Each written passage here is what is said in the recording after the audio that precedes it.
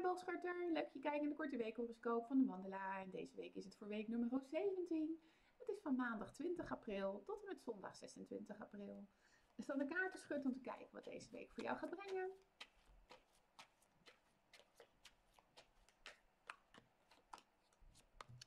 Dan lijkt het boogschutter alsof het een week is waarin je eh, eigenlijk heel erg naar je gevoel luistert. Je, lijkt het voor jezelf helder te hebben. Uh, alleen ik heb het idee dat je, uh, dat je er zeker iets wel mee doet hoor. Alleen het gevoel geef je ervan van dat je een besluit hebt genomen.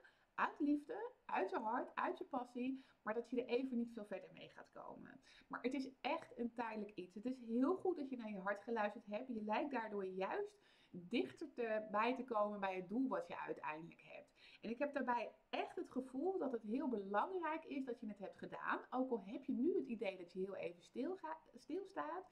Je zult richting eind van de week, of misschien ook wel weer halverwege de week, zul je gaan merken dat je juist een bepaalde uh, verbinding hebt uh, gekregen, of een verbinding aan het ontwikkelen bent, die echt heel erg goed voor je voelt en die heel erg stevig zal gaan staan. Dit was alweer de korte weekhoroscoop. Ik hoor natuurlijk heel graag wat je ervan gevonden hebt. Ik wens je sowieso een super fijne week.